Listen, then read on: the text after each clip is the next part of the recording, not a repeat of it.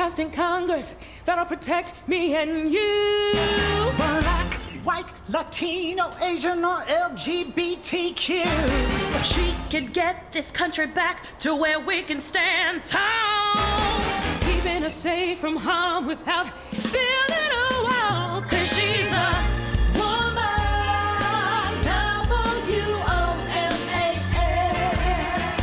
say it again.